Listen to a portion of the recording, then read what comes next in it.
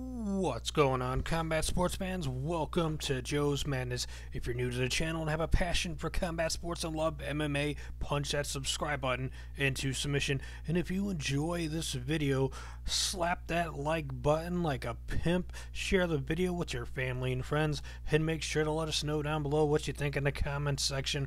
So we got UFC Fight Night 109, UFC Stockholm 2017 full fight results for Darren Till versus Jason Ayari, and this one went three rounds. It was a banger, slugfest, slobber knocker. These guys rocked each other left and right with all kinds of kicks and combinations. It was a lot of fun, but Darren Till remains undefeated at 14 and 0 with uh, one no contest or a draw. I think it's a draw uh, yeah, 14 0 and 1.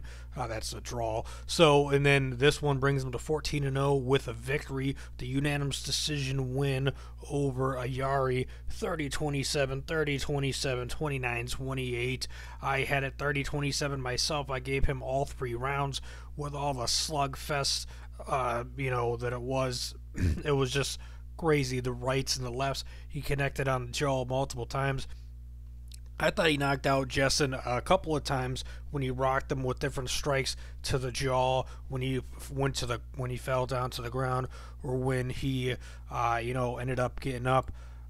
You know it was just crazy. I was like what? He got up off the ground. That's crazy. He was rocked cold uh, quite a few times making me think that it was done and over uh, you know, the lights were not out for Justin. He showed that he has a chin for days on end with the beating that he took from Darren Till at UFC Fight Night 109.